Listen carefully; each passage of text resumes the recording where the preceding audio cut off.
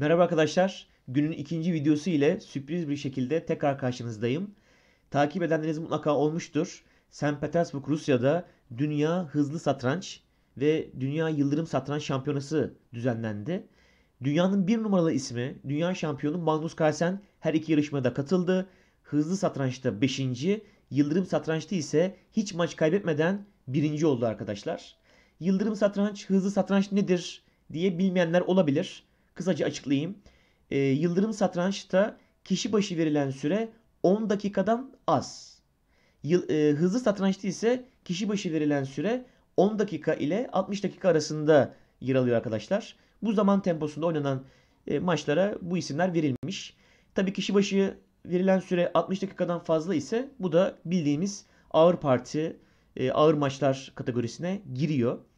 E, Yıldırım turnuvasının zaman temposu neydi e, Dünya Şampiyonası'nın? 3 dakika artı 2 saniye. E, o ekleme nasıl, o 2 saniyelik ekleme nasıl hesaplanıyor diye sorarsanız 60 ile çarpılıyor. Yani bir nevi dakikaya dönüştürülüyor. 2 saniye 2 dakika ettiğine göre 60 ile çarpıldığında e, 3 dakikada vardı. 3 artı 2 5 dakika 10 dakikadan az. İşte size Yıldırım satranç arkadaşlar. St. Petersburg çok ilginç bir anım var. Ee, bunu sizlerle paylaşmak istiyorum. Bundan 10 sene önce 2008 yılında e, gözde sporcularımızdan biri, milli sporcularımızdan biri olan Burak Fırat. 2240 rating bile yoktu o zamanlar Burak Fırat'ın. E, dünyanın genç yıldızları adlı kapalı bir turnuvaya davet aldı. Kimler davetli bu e, turnuvada derseniz aklıma gelen en popüler isim Anish Giri'ydi arkadaşlar. Anish Giri'nin olduğu kapalı turnuvaya davet edildi. Ondan sonra ben de başında antrenör olarak e, federasyon tarafından görevlendirildim ve ikimiz turnuvanın yolunu aldık. Burak orada oynuyor. Ben de ona destek olmaya çalışıyorum. Maç öncesi hazırlıklar olsun. E, maç sonrası e, analiz ve modunu koruma olsun. E, konuları olsun. E, ve boş günde Yıldırım turnuvası oynandı arkadaşlar. Ben de pek formda değildim aslında ama çünkü 2006'da kariyerime, sporculuk kariyerime nokta koymuştum ama 2008'deki o yarışmaya da e, dedim kim görecek, kim edecek gireyim bari. Girdim. E, bir girdim. Meğer sağdan soldan bir sürü büyük usta gelmiş arkadaşlar. Hatta bırakın e, normal sıradan büyük ustaları önemli büyük ustalar da vardı. Konstantin Sakayev vardı. Ve birazdan videosunu paylaşacağım. Sergey Yanovski vardı. Sergey Yanovski 1988 yılından beri Rusya'nın e, altyapı baş antrenörü arkadaşlar.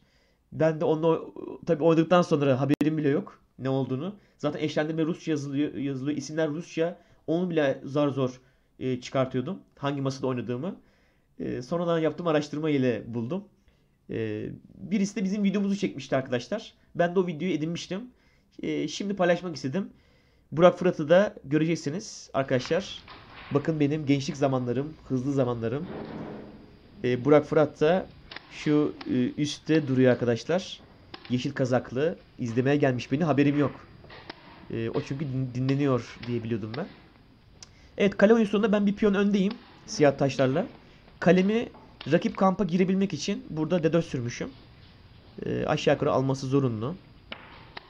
Şimdi kaleyi e, rakip kampa sokup piyonları toplamaya çalışacağım. Çünkü e, başka türlü bu oyunu kazanca taşıyamam.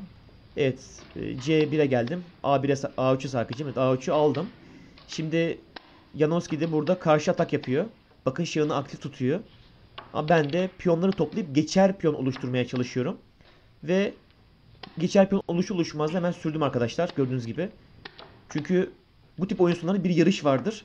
Kimin geçiri önce e, ilerlerse, önce son kare ulaşırsa o kazanacak. Şimdi kale arkadan tutmak istiyor. Ee, geçer piyonumu arkadan durdurmak istiyor. Bunu engellemek için ne yapabilirim diye düşünüyorum ve kale G5 geliyorum. Amacım kale H5 gelip kesmek.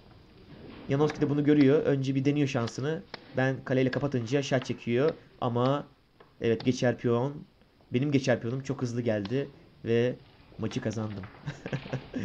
Hepimiz kazandığımız maçları görmek istiyoruz defalarca. Bakın Burak Fırat için de ilginç bir anı. Evet böyle bir paylaşımda bulunmak istedim arkadaşlar. Hepinizin böylesi güzel anınızın olması dileğiyle tekrar görüşmek üzere. Hoşçakalın, mutlu kalın arkadaşlar.